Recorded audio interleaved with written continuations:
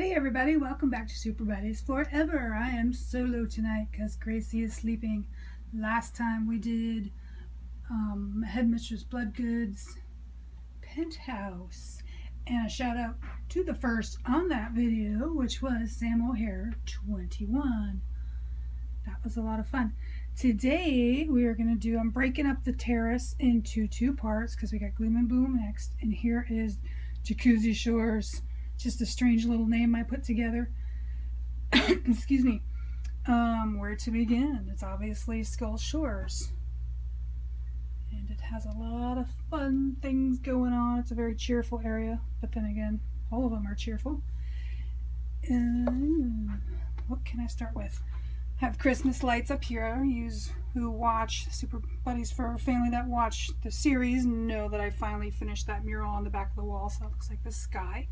This back here is just a piece of plywood and then I put, they were placemats I got from the dollar store or something or Ross four for five dollars or something. I just spray painted those and glued those on for an interesting back fence. Those are Christmas lights in the back obviously. They're just taped on with some electrical tape to keep them in place. And then we have all the Gloom and Bloom flowers and accessories are on display there. That wicker cabinet came with a set I had from long, long ago. I've left it as it is with the purple. Um, I think that's a really cute, cute display area because all that stuff is so wonderful. Coming out the door we have Miss Cleo DeNile, who's in, I don't know, I, I love this outfit. It's one of my favorite, most fun outfits. And uh, her shoes, I love these shoes. They're so cute.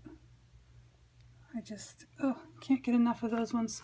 And of course, she's got the bell bottom 70s style. I have a feeling she's going to fall over because I'm doing this one-handed. Oh, I got it. um, I just love that bell-bottomy high-waisted outfit is just too cute. Okay, let's not let her fall over. Okay, put her against there. So she looks wonderful there. It looks like she needs a little salon time though. Her hair is all poofing out. Then we have the Frankie, the two, two, I don't know what you call it, alter egos or you know how that story went. This would be the alter ego, which was one of Gracie's very, very first five or something dolls. She is super, super loose bodied Gracie had even drawn all over her face and I was able to save it except for the black lips so I put some silver nail polish on it. Tidied up her hair in a salon time before I did salon times. So really glad we saved her. I think we did have to uh, find the shoes again. I don't think we had those, but she had all the rest. And the ties in the back was broken and I just put my own little ribbon on the back. Sewed it or glued it, I'm not sure which, but that still holds it together well. We have the other Frankie, the real Frankie, not the fake one.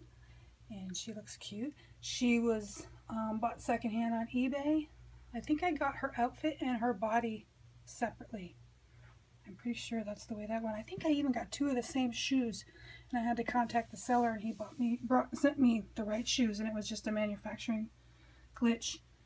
Some wonderful little flower arrangements all over here. Of course, this is the terrace gardens. So we got flowers everywhere that we can.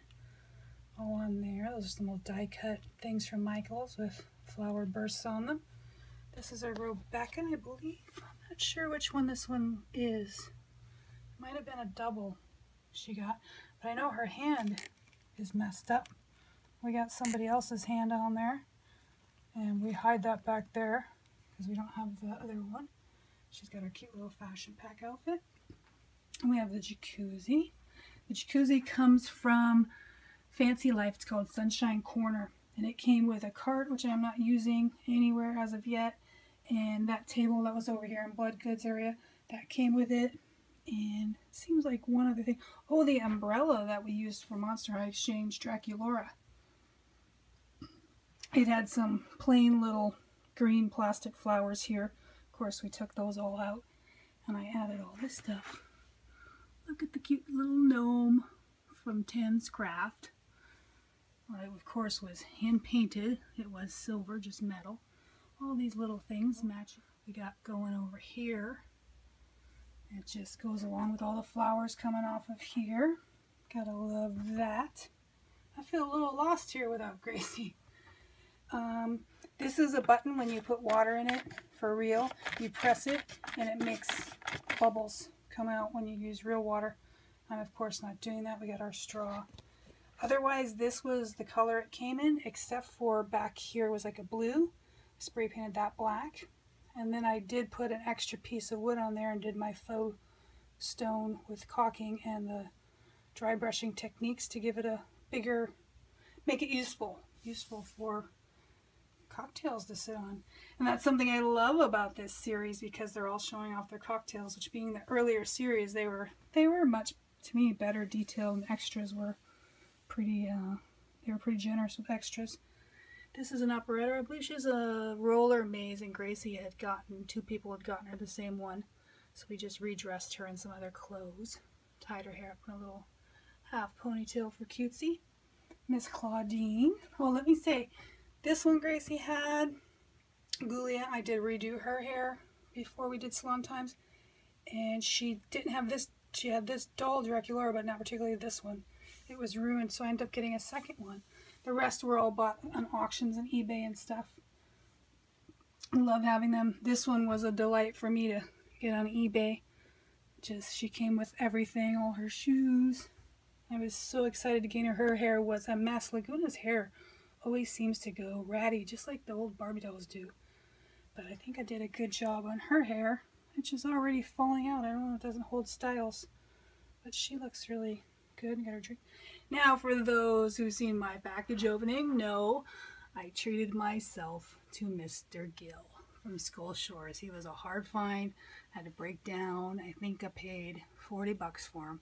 But he came, had all his fins, he had his shoes, he even had his necklace and his drink. And if you guys watch on eBay, you know that that silly little pineapple drink can go from 18 to $25. So I thought I did good. And while I'm there, let me do some shout outs to some people who were on that video. And it was uh, Larissa Rourke, Garnet Universe, and Katie Madison. Shout outs to you three for watching and commenting. I appreciate it. And next we have, what do we have here? Abbey. Abbey was also a find from um, eBay. I won her on an auction. Fair price, nothing special, but it was nice that she came with all her bits. And, hmm, I guess that's details of food and freshies to have while you're eating.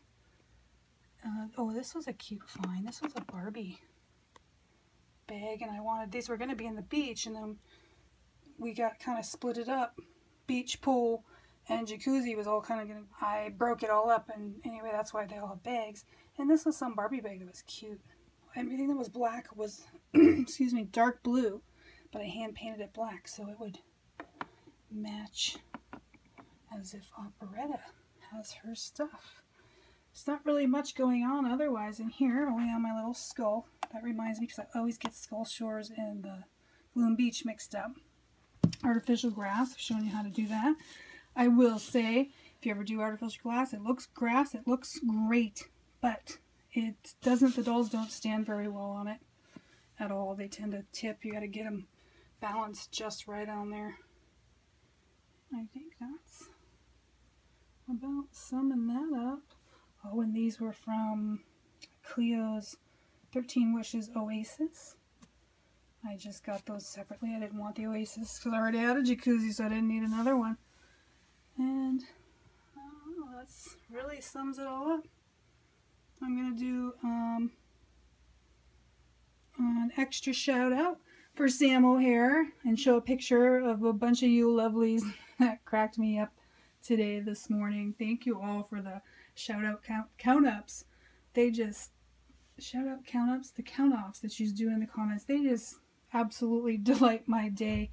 And we had like four or five in 25 seconds. And Sam O'Hare 21 got it. So this is a double shout out video for him.